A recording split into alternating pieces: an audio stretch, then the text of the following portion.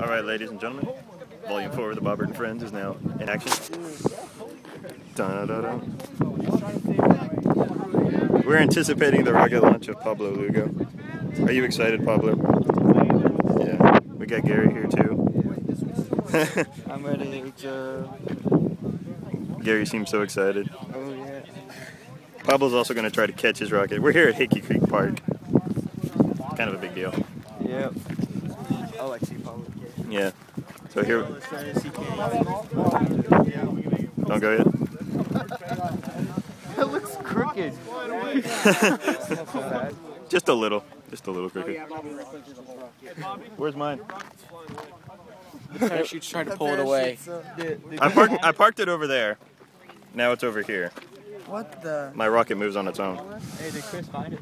Are they not? Yeah, he found it. What's going on? It's kind of right. Can I shoot mine? That's left center. This is going to be a longer video than I thought it was going to be. So far, I've had the only sexful launch. Sexful? Successful launch. Sexful launch. Sexful launch. Whoa. Pablo's going to try to catch it. I think he can do it, provided it launches straight. Pablo goes after these people so they can get it working. Come on. So what happens if it lands in a tree, Pablo? I climb it again. He's gonna like jump up in the tree and be like, ah! Let's see if we can get another rocket launch here. Oh! Oh, It's right out there. Was that an A? Uh, oh! Was that an Bobby had the Stuck in the ground. I know, mine was just like, right in the grass.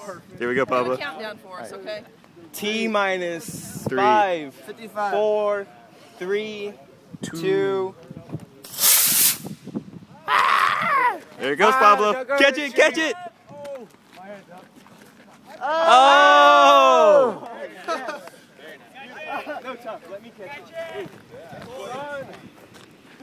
Run, Paul, run!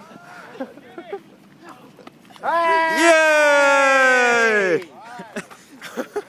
who's next? Gary. Uh,